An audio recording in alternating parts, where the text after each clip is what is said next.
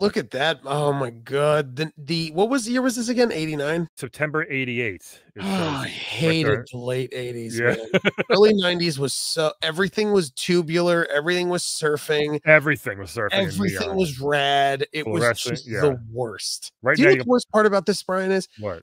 this was my age group, and I remember legit probably seeing this thing being like, oh, cool. Totally. This is the the insider's calendar. This I would actually like if I was a kid. This is the uh, release day, and that was something that was very important to me. All gamers need to know where Yom Kippur is. That was a terrible game. This is just like facts. It's not even Yeah. Bruce Springsteen's birthday. Yeah, Bruce on the 20 on the Scott Baio. What the? Oh my god! You remember how much of a fan you were when you were nine for Bruce Springsteen? NES Snow Day, Statue of Liberty's birthday, Gettysburg Address delivered on. I mean, it's just Look look at at, Mario chasing that turkey. King Hippos. Diet starts diet. Nah, that's cute. when does King Hippo's diet end? King Uh, Hippo dies December fourteenth. Look, Goonies reunion. Don Johnson. Like, what did kids watch Miami Vice back then? Oh man, I would love. To, I was such a Don Johnson fan as a kid. Let me see. My, uh, my birthday was oh nothing. February nineteenth. Oh look, Brian, when- fourteenth Valentine's Day. Did it say times? No, I just like. Oh, okay. like. When's your birthday? June, July? When is it? June seventeenth. Let's say nothing. June. I thought it was a release date of games, but this is just a regular calendar. No,